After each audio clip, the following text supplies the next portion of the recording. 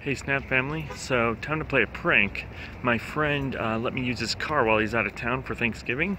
Well, time to go to the 99 cent store.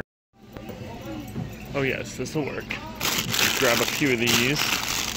Got the Christmas aisle right now. Oh, look at all this stuff. Oh yep, that's what I want. Okay, here we go, here we go. What else we got? Oh, garland, yes. Um, silver silver. Let's grab the silver. Oh, here we go. Wrapping paper? I think so. Large candy canes? Check. Step two, car wash.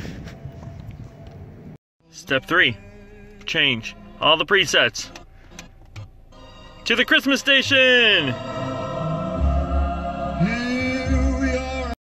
Step four, eat peppermint bark. Step five, fill car.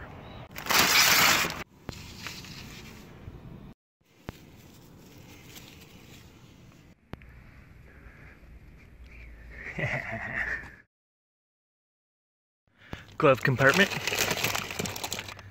filled.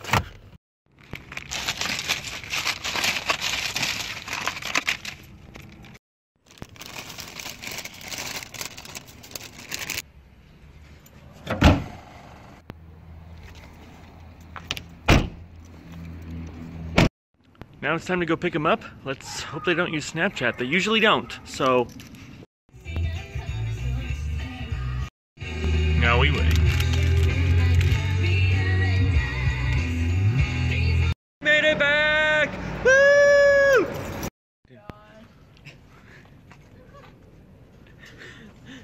It gets worse. It gets worse. Oh my goodness. Holy cow. That's fantastic. Well done. Is that why you're recording this video? Maybe. Look at the size of those candy canes. That's beautiful. I love the ribbon right in the center of the steering wheel. nice.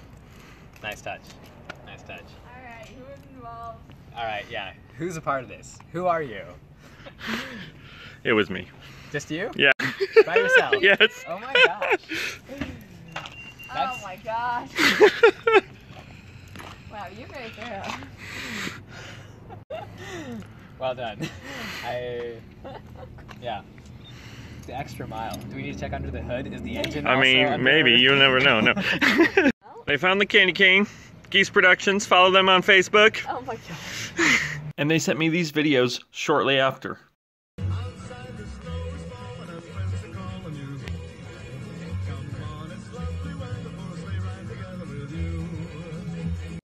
This car is decorated better than the outside of most houses.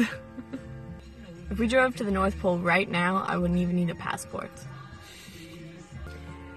This Christmas, instead of putting presents under the tree, we'll be putting them under the car.